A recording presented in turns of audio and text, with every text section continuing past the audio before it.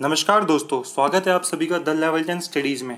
दोस्तों, आज हम डिस्कस करेंगे एक चैनल के बारे में, जो कि टेलीग्राम पर है, जिसका नाम है Himachal GK and current affair quiz इस चैनल से डायरेक्ट जो पेपर तेरह तारीख को Himachal Pradesh public service commission ने जो पेपर तेरह तारीख को लिया था, यहाँ पे, यहाँ से डायरेक्ट इस चैनल से टेलीग्राम चैनल से, जो ये यहाँ से क्वेश्चन डायरेक्ट आए थे। पहला क्वेश्चन अब देखते हैं क्वेश्चन पहला। देखते हैं दोस्तों, ये देखो। आप ये इस क्वेश्चन को देख सकते हैं। राज्य के किस भाग में एचपी की भाषा, कला एवं सांस्कृतिक एकेडमी ने एक वर्ष, एक 609 वर्ष पुरानी पांडुलिपि पाई है, जो चिकित्सा की आयुर्वेदिक प्रणाली से संबंधित है। इसका सही आंसर है ऑप्शन डी स्पीति वैली और देखिए, आप यहाँ पे देख सकते हैं, और सेट डी है दोस्तों ये। सेट डी में क्वेश्चन नंबर थर्टी यहाँ पे, यहाँ पर है हिमाचल प्रदेश भाषा, कला एवं संस्कृति एकेडमी को। किस घाटी में 600 वर्ष पुरानी पांडुलिपि प्राप्त हुई, जो आयुर्वेदिक औषधि प्रणाली से संबंधित है? इसका सही आंसर है ऑप्शन डी, स्पीति घाटी। और दोस्तों, ये क्वेश्चन इन्होंने 26 तारीख को 26 मई 2020 को पूछा था। Same question Himachal Pradesh public service commission ने यहाँ पर पूछा है। और दोस्तों, आप यदि इस चैनल पर नए हैं तो इसे सब्सक्राइब कीजिए। और दोस्तों, ये अगला क्वेश्चन देखते हैं। The wild life expert who were the main force behind the setting up of Himachal Himachal first breeding ringing station at Salopara आप इसका सही आंसर देख सकते हैं। इसका सही आंसर था ऑप्शन डी फ्रांसीसी बर्नार और टी एच वॉलकर ने किया था। अब सेम यहाँ पे क्वेश्चन पूछा है। Question number forty five set B में सेट डी में सॉरी यहाँ पर देख सकते हैं। निम्नलिखित में से कौन दो वन्य जीव विशेषज्ञ थे जिनका हिमाचल प्रदेश के सलोपरा में प्रदेश के प्रथम बर्ड रिंगिंग स्टेशन स्थापित करने में मुख्य योगदान रहा। इसका सही आंसर था फ्रांसिस बुरनार और टी एच वाकर। ये क्वेश्चन इन्होंने, जो हिमाचल जी के एंड करंट अफेयर क्विज है, इन्होंने 26 मई 2020 को पूछा था। आप यहाँ पर देख सकते हैं। और और यदि, अब चलते हैं अगले अगले अगले क्वेश्चन पर, जो इस तरह से हैं। देखिए, चकली किस रियासत का प्रसिद्ध सिक्का था? सी रियासत का, जो कि था चंबा रियासत का। अब यहाँ पे दोस्तों सेम क्वेश्चन पूछा है पब्लिक सर्विस कमीशन ने, आप यहाँ देख सकते हैं। चंबा का एक विशेष सिक्का कौन सा है, जिस, जिसके पाँच सिक्के का एक आना है? आप यहाँ देख सकते हैं, चकली।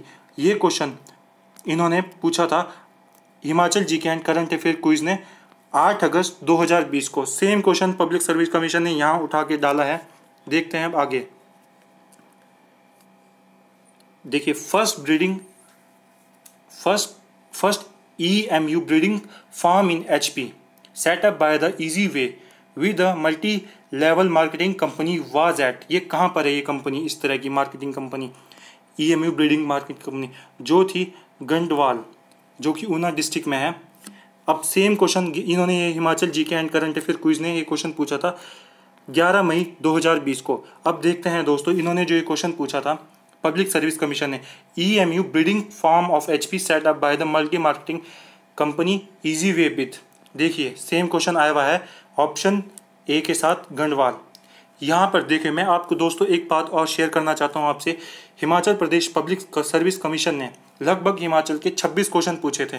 26 में से डायरेक्ट आठ क्वेश्चन आठ क्वेश्चन जो कि इस क्विज से आए थे, जो हिमाचल जी के एंड करंट अफेयर क्विज कर रहा है, हिमाचल का, जो लगभग 33 परसेंट है दोस्तों 33 परसेंट। ये बहुत बड़ा नंबर है 33 परसेंट। यदि किसी को एग्ज़ाम इस 33 परसेंट क्वालिफाई हो जाता है और किसी का रह जाता है। चलते हैं आगे अगले प्रश्न पर। Which of the largest gompa has the largest collection of Kangyur और तंग्यूर इसका सही आंसर था, ये देख सकते हैं। फोर्टी मतलब ये देखो, फोर्टी थ्री परसेंट लोगों ने इसका सही आंसर किया कारदांग गोम्पा ये इन्होंने अठारह अप्रैल सॉरी दोस्तों, थोड़ा सा ये अठारह अप्रैल को इन्होंने डिस्कस किया था। अब देखते हैं पब्लिक सर्विस कमीशन ने सेट डी में ट्वेंटी एट नंबर क्वेश्चन किस तरह से सेट किया है। देखिए, निम्नलिखित में से किस गोम्पा के पुस्तकालय में कंग्यूर और तंग्यूर का सबसे बड़ा संग्रह है? आप ये देख सकते हैं। ये ये था option B option B Kardang gompa direct 18 अप्रैल को इन्होंने क्वेश्चन पूछा था। देखिए, आप यहाँ पे भी देख सकते हैं 18 अप्रैल, ऊपर, ये देखिए यहाँ पे 18 अप्रैल। यहाँ से भी क्वेश्चन पूछा था डायरेक्ट चलते हैं आगे। ये देखिए, हिमाचल प्रदेश के किस ज़िले में क्यांग क्यांग लोकप्रिय सॉरी क्यांग लोक नृत्य मुख्य रूप से जुड़ा हुआ है। इसका सही आंसर है किन्नौर। किन्नौर से जुड़ा हुआ है। अब देखिए दोस्तों, पब्लिक सर्विस कमीशन ने यहाँ पे क्या क्वेश्चन पूछा था? ये देखिए दोस्तों, क्यांग नृत्य सीधा ई के साथ मैच हो रहा है, किन्नौर के साथ। ये देखिए ऑप्शन ए या बी में से इसका आंसर होना था but right answer right answer इसका बी है। बट ये देखिए, यहाँ पे इन्होंने जो पब्लिक ये हिमाचल जी के एंड करंट अफेयर क्विज है, इन्होंने ये चीज़ 8 जुलाई 2020 को करवाई थी। चलते हैं आगे आगे।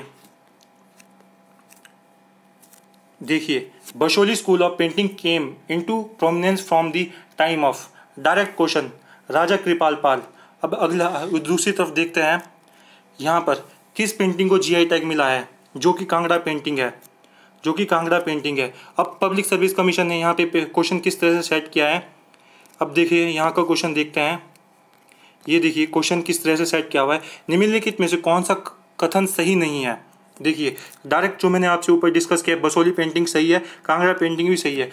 इनमें से आंसर आना था।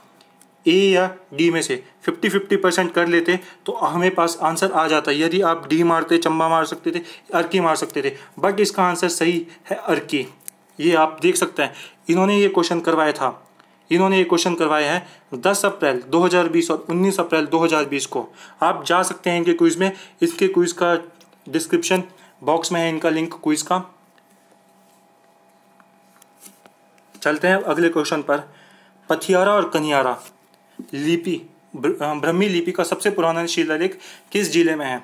इसका सही आंसर था कांगड़ा में कांगड़ा में है। इन्होंने एक डिस्कस किया था 27 मई 2020 को। अब यहाँ पे पब्लिक सर्विस कमीशन ने किस तरह से क्वेश्चन सेट किया है? देखिए, पथियारा और कनियारा में पाए गए प्राचीनतम पाषाण अभिलेखों की तिथि क्या है? इसका सही answer option B Brahmi. Direct question में से आंसर है आपको। यहाँ देखिए क्वेश्चन में से डायरेक्ट आंसर ऐसा क्विज आपको कहाँ मिलेगा? देखिए, जिस चैनल के माध्यम से मैं आपसे बात कर रहा हूँ, वो है द लेवल टेन स्टडीज़ इन्होंने चैनल शुरू किया था। इन्होंने किया था। मार्च के महीने के आसपास इन्होंने चैनल शुरू किया है। और ये क्वेश्चन इन्होंने एक क्वेश्चन डिस्कस किया था, अड्डू एटॉल जिसे सीनू एटॉल के नाम से भी जाना जाता है। निम्नलिखित में से किस देश का सबसे दक्षिणतम एटॉल है? इसका सही आंसर था मॉलदीप ये भी क्वेश्चन पब्लिक सर्विस कमीशन पे पूछा गया था। इस चैनल ने द लेवल टेन की बहुत मदद की है, जो हिमाचल जी के हैं। तभी आपसे इस चैनल के माध्यम से मैं आपसे सारे क्वेश्चन ये डिस्कस कर रहा हूँ।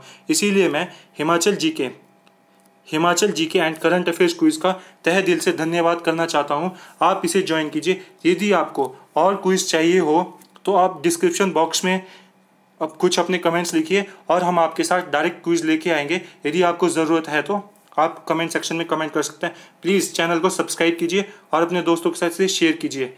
Thank you so much